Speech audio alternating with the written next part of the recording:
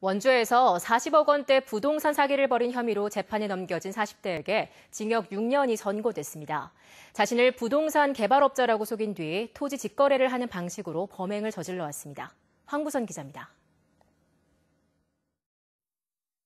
임야를 12억 원에 사겠다며 A씨에게 접근했던 48살 김모 씨. 김 씨는 땅 주인 A씨에게 계약금 3억 원만 건네고 등기 이전을 받습니다. 나중에 주기로 한 잔금 9억 원은 주지 않고 오히려 8억 원을 추가로 더 뜯어냅니다. 땅이 생기자 갑자기 채권자들이 압류 절차를 밟기 시작했다고 속인 뒤 땅 명의를 다시 가져가게 하고 1년 사이 오른 시세 차익이 8억 원이라며 이걸 A씨에게 받아 챙긴 겁니다. B씨에게는 질 좋은 석재가 묻혀 있다며 해당 땅을 담보로 3억 7천만 원을 빌렸습니다.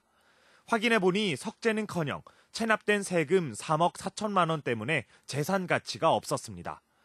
토지 처분 권한을 위임받았다고 투자자를 속여 매매 계약을 체결하고 1억 원을 받아 챙기기도 했습니다. 법원은 지난 6년 동안 원주에서 12차례에 걸쳐 부동산 사기 행각을 벌인 김 씨에게 징역 6년을 선고했습니다. 재판부는 김 씨가 44억 6천만 원 상당의 토지와 돈을 받아 챙겼다며 양형 이유를 밝혔습니다.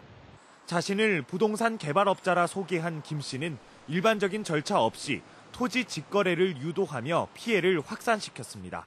공인중개사 자격증이 있는 전문가와 함께 계약 체결을 하시고 잔금날에 그 서류와 잔금을 동시에 마무리하시는 것을 추천드립니다.